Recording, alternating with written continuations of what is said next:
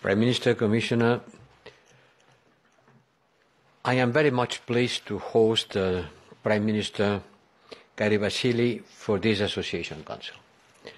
I am pleased because Georgia is one of our closest friends and partners. And this Council is a historic one because it is the first one since the European leaders recognized uh, Georgia's European perspective and outlined the steps needed for Georgia to get the candidate status. This is a clear proof of the European Union commitment to further strengthen our relations, responding to the European ambitions of Georgia. But these ambitions, as always, ambition comes with responsibilities. First, a responsibility to continue with important reforms especially on the priorities, the 12 priorities identified by the European Commission. And second, a responsibility to try to overcome polarization, to build bridges across the political spectrum, and to focus all collective efforts of the Georgian nation to reach the proclaimed objective to join the European Union, which is not only something that the government has to do, but the whole political spectrum and the whole society. Allow me to remember or to remind that European Union accession is a merit-based process, that there are no shortcuts and no magic involved. It's not a matter of uh, political declarations, but political will that converts wills and results. And only visible and tangible progress in reforms can drive this process forward. The criteria and expectations are very clear. When it comes to issues such as political culture based on inclusiveness, respect for the principles of democracy, the rule of law, the independence of judiciary, freedom of media, or alignment with European Union standards and policies. Georgia has decided to embark on the European Union path and also to take on these responsibilities and now it's relevant, relevant is to deliver. Allow me to stress also that the accession process needs to be accompanied by a national consensus. And the political forces has to find a way to work together. And once again, it's not just a matter of the government, but the all political parties. And that's why we call the process an inclusive process because it has to reflect the wish of the overwhelming majority of the population to link their future to the European Union. I want to stress the importance of the civil society. I want to stress that the European Union accession path brings tasks for all actors in the society, but the ruling party has, of course, the main responsibilities there. It's not easy is not easy, especially in the current geopolitical context. But you are not alone.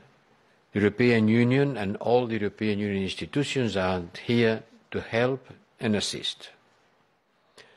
Let me say a few words about the political dialogue that today in this Council we have been holding together.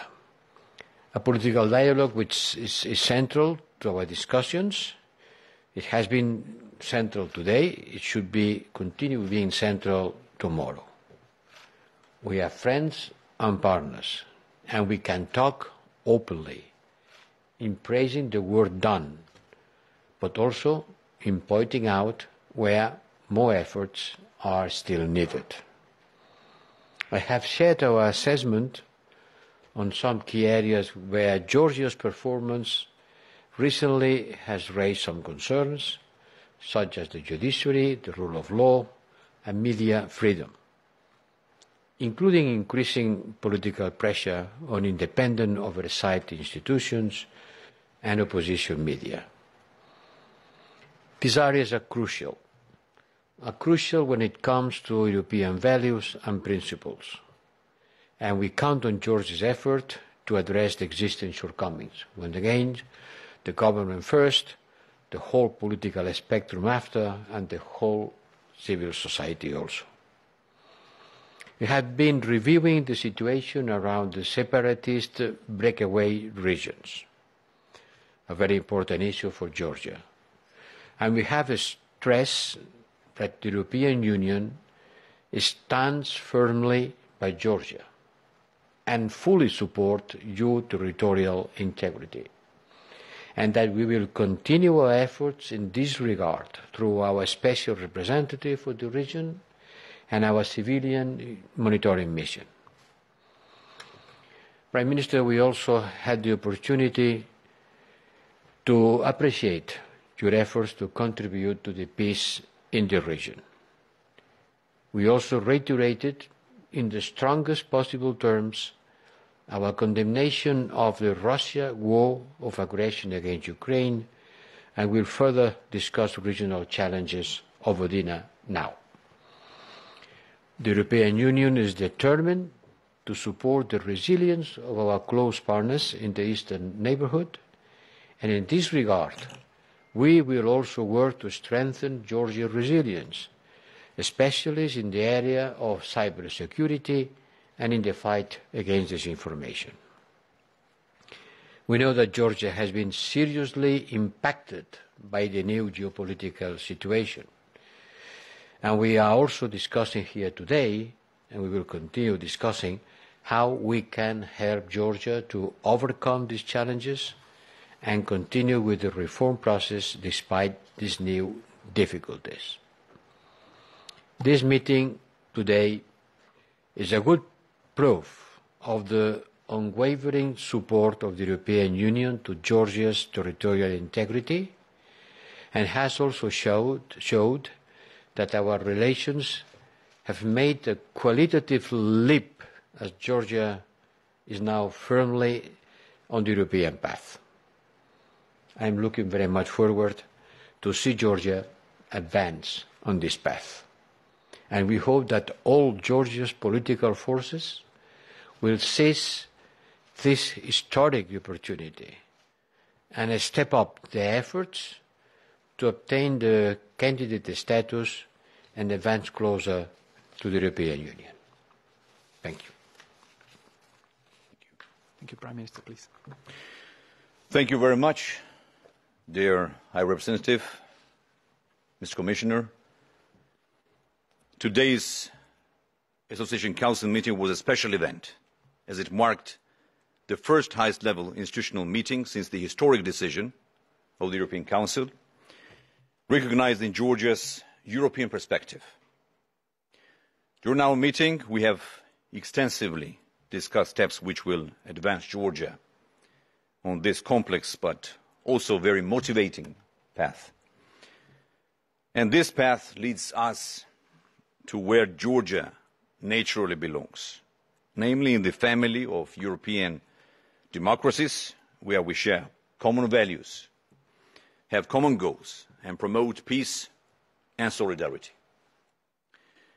The European perspective comes with huge responsibility, and we perfectly understand it, to ensure highest political, economic, and legal convergence with the European Union.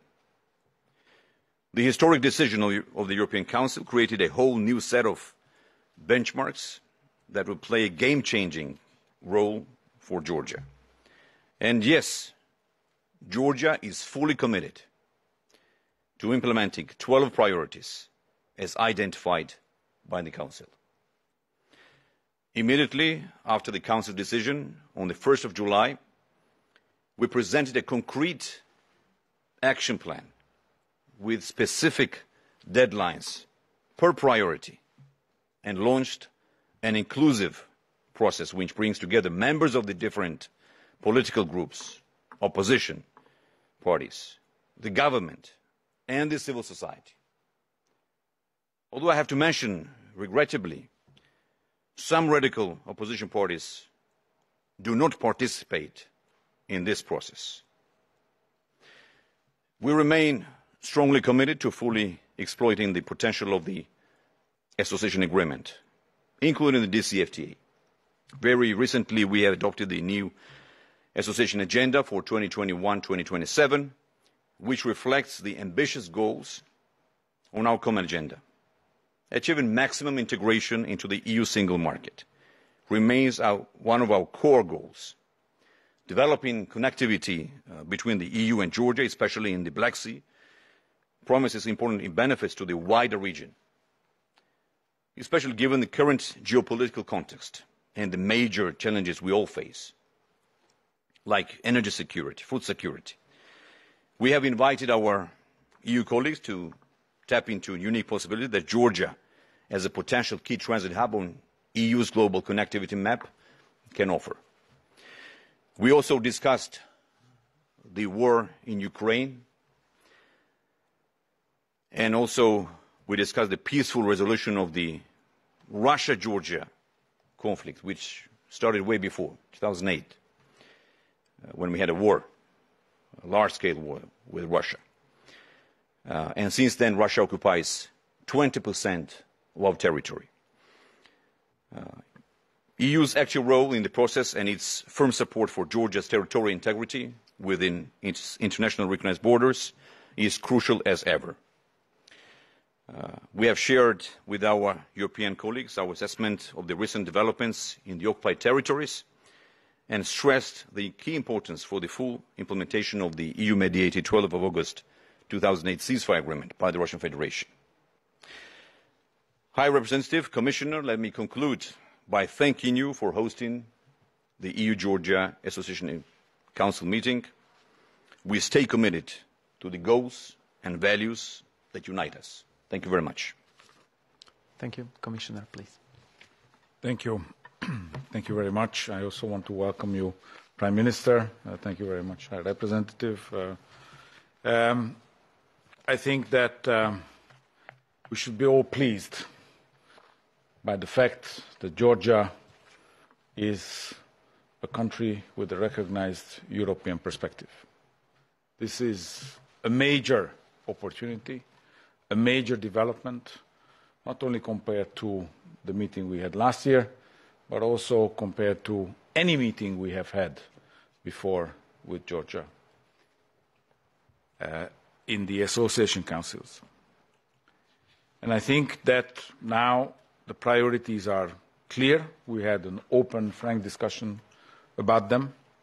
And that is, of course, uh, how we can anchor our solid cooperation that we have built over the years based on the association agreement to make this European perspective a reality. I think that today we need to send a message of encouragement. The moment is now to push ahead with the reforms, not to lose time or energy on internal divisions, but to work together. The progress of Georgia towards the EU will of course require time and very serious efforts by all. We are ready to mobilise all our available assistance to support you on this. And I want to underline the importance that all parties and the civil society rally around this goal. This is a unique national priority and the unique opportunity in front of the nation. At this stage, we of course recommend Georgia to focus on the implementation of the 12 priorities as set out in the opinion of the Commission. Strengthening the rule of law, implementing the necessary justice reforms to ensure a judiciary independent of outside interests, increase the fight against corruption, eliminating the excessive influence of vested interest in, the, in economic, political and public life, and strengthening the in, independence of uh, media, of course, are among these key tasks. And I want to assure you that, of course, we will closely follow and support Georgia in this work. Because next year, hopefully, as we will assess your progress as part of our enlargement reporting exercise, I do hope that we will be able to evaluate the progress made in a positive way and to explain to the Member States the tech record that you will be establishing by then and hopefully the time and quality of reforms will show your determination and delivery. We also took stock of our bilateral agenda, which has advanced since the last Association Council of last year. As this information thrives, it remains important to communicate clearly on the advantages of our cooperation. In this context, I want to highlight the Eastern Partnership Economic and Investment Plan, which can generate a massive, at least 3.9 billion euros of public and private investments only in Georgia. But to fully deliver on this potential, a supportive investment climate with legal certainty is essential. On the visa-free regime, we are happy to see that travel is picking up after the COVID crisis. We are also working closely together on some of the challenges we face, especially as regards asylum applications by Georgian citizens in the EU, which are often not well founded. But we explored how to further strengthen our cooperation, which is already quite effective. In terms of trade, we have seen successes. I'm very pleased that the Georgian and the EU companies will be able to bid for more public procurement calls as a result of our converging standards and our agreements. We agreed to keep on supporting small and medium-sized enterprises to use the opportunities presented by our cooperation. And we also discussed strengthening connectivity between Georgia and the EU, be it in terms of digital, energy or transport links. All these are key steps which are bringing our economies and societies closer together. In conclusion, let me confirm that our aim is to support Georgia to address the, the 12 uh, priorities outlined in the opinion, the recovery of Georgia's economy, and to support the strengthening of the country's resilience, all for the benefit of the people of Georgia. And of course, you can always count on my personal support uh, in this regard. Thank you. Thank you very much. Now we take a few questions, of course, with the preference uh, to the journalists here physically in the room. We have also a lot of uh, Georgian journalists uh, connected from Tbilisi, so very well welcome to you. And just technical remark that we don't have translation uh, to Georgian, unfortunately, exceptionally this time, so the questions can be asked only in uh, English, French, and German. This is the translation we have. So first question I've seen was Tamara Rustavi 2. Georgian TV company Rustavi Tamara Nutsubidze. Uh, Prime Minister just mentioned. Micro. Maybe speak a little bit louder. Okay, I can do it louder. Uh, Prime Minister mentioned then go- that government ready and is working uh, to meet all 12 priorities. Also, Mr. Borrell, you just mentioned that one of the most priority is polarization and process should be inclusive. So, without engagement of main opposition party, what do you think? Is it possible to fulfill this uh, priority and what will be your advice to opposition parties and also to the ruling party? Thank you.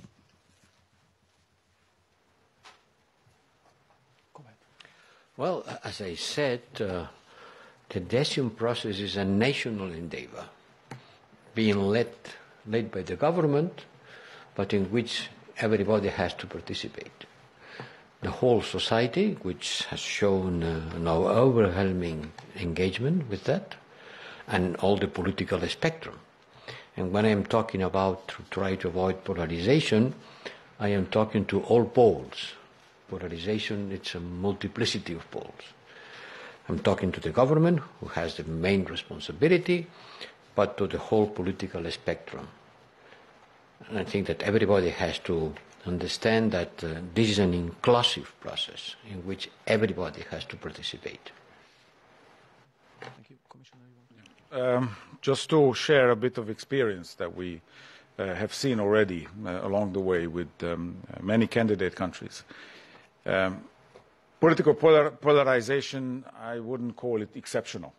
Uh, if you look at the Balkans, uh, you see many uh, countries where uh, this is a challenge still. However, uh, the success of becoming a candidate country and the success of becoming uh, an EU member uh, cannot be achieved without agreeing that this is a national priority. Uh, so this national priority not only will have to be established uh, and agreed, but this would have to be followed through in political actions, in the parliament, not only by the government, but all actors who make Georgia function. Thank you. Next question, I've seen Ketevan. Uh, thank you so much, um, Peter. Um, thank you so much for giving the floor and good evening to our dear speakers. Um, uh, Mr. High Rep, you just said that we should all seize uh, this moment because it's a historic moment for all, all of us, and we would like to receive uh, candidate status as soon as it is possible. Uh, we're so determined and persistent.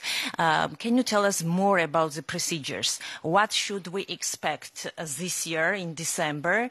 Um, document uh, which you mentioned, uh, Mr. Commissioner, yesterday after the meeting with um, Ukrainians and also about the uh, document uh, enlargement uh, um, report uh, for the next uh, year in October.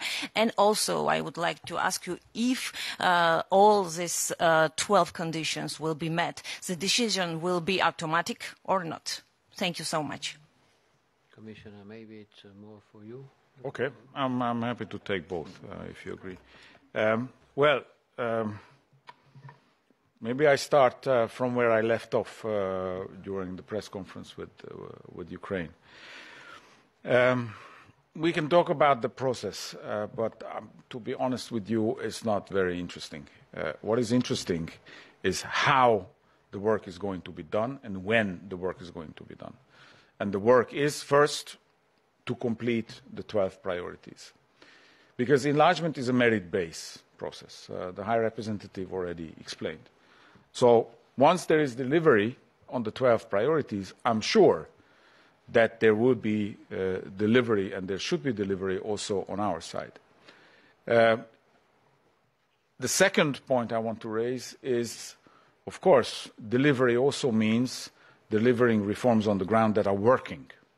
Delivery on the ground reforms that are working for the benefit of the economy, of the people, of the society, uh, so that the real integration on the ground can start, meaning that there will be even more European investors coming, there will be more trade going, there will be more jobs, uh, there will be social convergence uh, with Europe uh, on the basis of rules created here in Europe.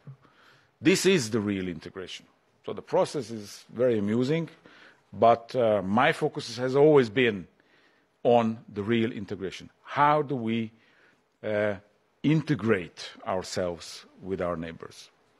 Um, and finally, because I don't want to, of course, uh, uh, abandon um, um, the question, this year, uh, what you should expect from us coming is uh, the last part of the opinion, which is a lengthy technical document, most probably, which compares the the application, the, the potential application of EU law with that existing now in Georgia, meaning how Georgia would be able to cope with the need of, of applying fully EU rules. We have the um, DCFTA that covers, it doesn't mean it is identical, uh, it covers uh, 70% of the EU acquis. Because uh, of course, third countries don't have to apply fully uh, all the rules that we are, uh, we are having, but it covers 70%. So what you have already is some level of compliance, but we need to see how in the future uh, Georgia will not only be able to legislate, so to take over uh, these rules, but how it is going to be able to enforce it. And we will come uh, with this uh, for all three applicants, new applicants. Uh, and from next year, of course, uh, all these three new candidates, hopefully by then Georgia is also going to be a candidate, we'll see, um, will be reported upon like the other uh, candidate countries for membership in the EU.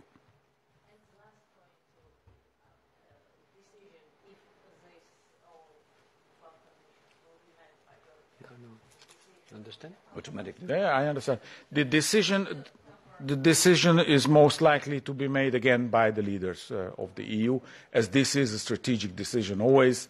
This has been always the case, and I don't think that uh, we will change this time. Thank you. We take one last question since uh, the participants still need to go to continue the council, but we go now over to Zoom to colleagues from Tbilisi, and the first one asking for the floor was Salo Abulashvili from Inter Press News Agency. Salo, your microphone is being open, so we will need to wait one second. Now it's open. You can ask your question. Good evening. Uh, thank you for the opportunity, and uh, I hope uh, my voice is coming well. Um, so my question is, more than two months have passed since we got the European perspective instead of candidate status. Now everything depends on how successfully Georgia implements the 12 uh, recommendations prepared by the European Commission. So my question is, uh, do you see that our political parties, government and the opposition are putting Georgia's strategic interests above narrow political um, interests. Do you have such impression from the steps that uh, Georgian government and opposition are taking forward uh, the polarization of our environment? What can you say about uh, this? My question is uh, to Mr. Borrell. Um, thank you. Look, uh, I, I, can only repeat what I already said. You can ask the same question 30 times, they will have to say the same answer. This is an inclusive process, and we call to all political parties to engage in this process in good faith in, in a cooperative manner. One can have different approaches and certainly, polarization, as uh, Commissioner already has said, is not some an exclusivity of uh, Georgia. Polarization is part of the political life. But uh, as everything in life, uh, it has to be it has to be in the right measure. No? Too much polarization brings instability and jeopardizes the progress. Too little polarization means that the political life is uh, not exactly a democratic one. So we need a certain polarization in order to show different approaches and different points of view. That's right, that's democracy. But uh, this polarization has not to reach a level in which uh, jeopardizes the process and puts in danger the fulfillment of the objectives. I am not going to, to judge the internal political life of Georgia, but I have to call to all political parties to understand that this is a, a collective endeavor and this is a historical moment that offers an opportunity. Prime Minister, yes, of course. Yeah, go ahead. Yeah. Well, I already uh, mentioned this, and I want to repeat. The ruling party and the government, we open the doors to all political players, to all the opposition parties. And as I mentioned in my uh, press statement, uh, unfortunately, some uh, opposition parties, especially the main opposition party does not participate in this process. So therefore, I want to once again uh, reiterate and reconfirm our full readiness to work with all political parties, to all opposition parties, including uh, those uh, who are in the parliament, outside the parliament, civil society. But as you mentioned, uh, Mr. Borrell, not only government, but also the opposition party should uh, participate in this process. So therefore, it is absolutely our clear determination and motivation to once again, I want to mention uh, that uh, Georgia is ready, the government, ruling party is ready to fulfill all these 12 priorities. Thank you. Thank you very much. That concludes it for you, journalists. And as I said, uh, the Council continues. So thank you very much for attending. Have a very nice evening. Bye.